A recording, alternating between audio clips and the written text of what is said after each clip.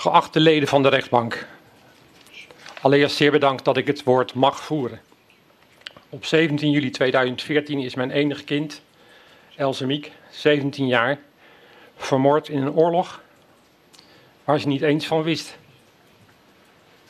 Ze ging op vakantie naar Maleisië samen met mijn ex-vrouw, haar man Sergio en kleine broertje Julian.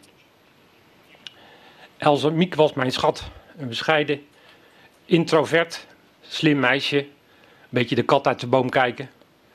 En, maar ze was het laatste jaar aan het veranderen in een jonge vrouw die aardig wist wat ze wilde gaan doen. En dat was mooi om te zien, hoe dat ja, veranderde in eigenlijk heel korte tijd.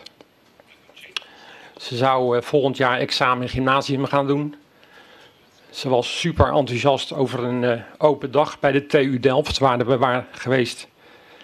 En uh, toen zei ik, ja leuk, maar we gaan eerst volgend jaar moet je nog examen doen, lijkt mij. Ja, dat is geen probleem, pap. Uh, maar eerst uh, vakantie naar Maleisië met mama. De mensen die dit gedaan hebben, ik denk by mistake, hebben geen idee wat ze aangericht hebben. Het interesseert ze ook niet, waarschijnlijk. Else Miek had een prachtige toekomst en gelukkig al wat van de wereld gezien. Ze zou deze mensen niet haten.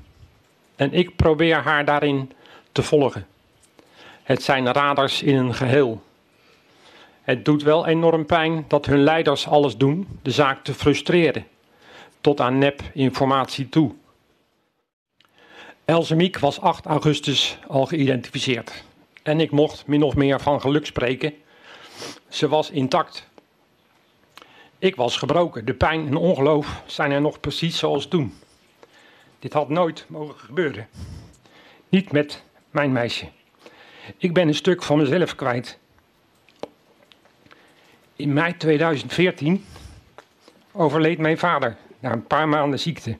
Gelukkig geen pijn meer. Twee maanden erna mijn kind en de pijn blijft enorm.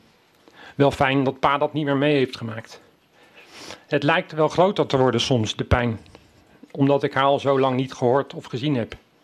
Rouwdeskundigen, professoren in de rouw, ik denk hoe weet je, hoe kan je dat zijn, begonnen over fases Terwijl we in dit geval, naar mijn gevoel, nog steeds in fase 1 zitten.